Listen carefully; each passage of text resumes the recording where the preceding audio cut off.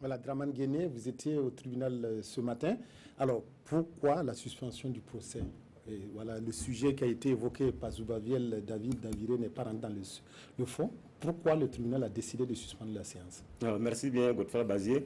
Euh, contrairement au 27 euh, février dernier, à l'ouverture du procès, quand les, avocats de la défense s'étaient déportés, et c'est en ce moment que le juge, le, président du, tribunal a décidé de suspendre l'audience.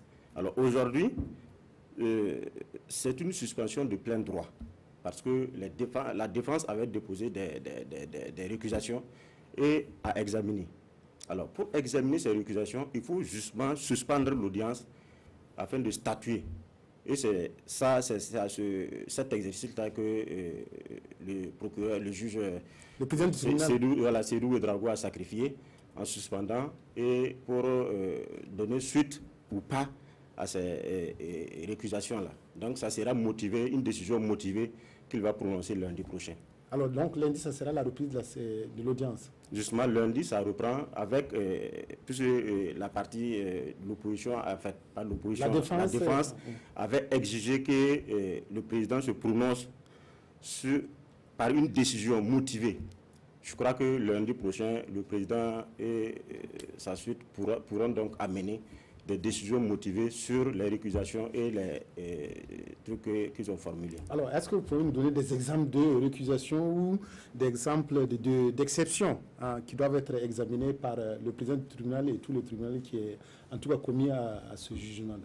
Merci. Alors, ce qui revient très récurrent, ce qui est très récurrent, c'est la nomination du président et de son euh, conseiller, juge conseiller.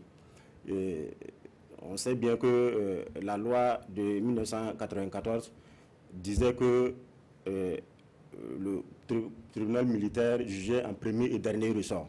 Et en ce moment, il n'y avait qu'une chambre et c'était la chambre de jugement. Actuellement, c'est devenu une chambre euh, de première instance et une cour d'appel. Pour reprendre justement l'obligation de double juridiction. Voilà, de double juridiction. Maintenant, comme euh, le président et son conseiller étaient nommés avant la modification de cette loi, donc ils étaient nommés pour siéger à la chambre de jugement. Maintenant que c'est devenu une chambre euh, euh, de première instance, les avocats de la défense trouvent que ce n'est pas le même décret, donc ce n'est pas les personnes habilitées pour siéger à, ce, à cette chambre-là.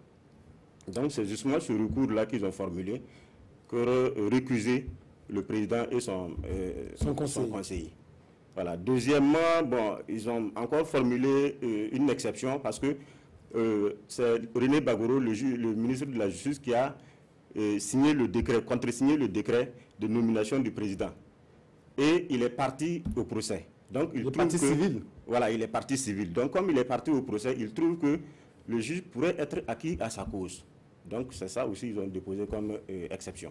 Alors tout cela sera examiné d'ici lundi 26 mars. Et voilà, à la reprise donc euh, du procès, on pourra savoir si, en tout cas, les avocats de la défense sont satisfaits de décisions qui ont été prises par le, tribunal. Justement, ils ont, ils ont dit que euh, la décision, ils voudraient d'une décision, que ce soit favorable ou pas, et ils vont aviser.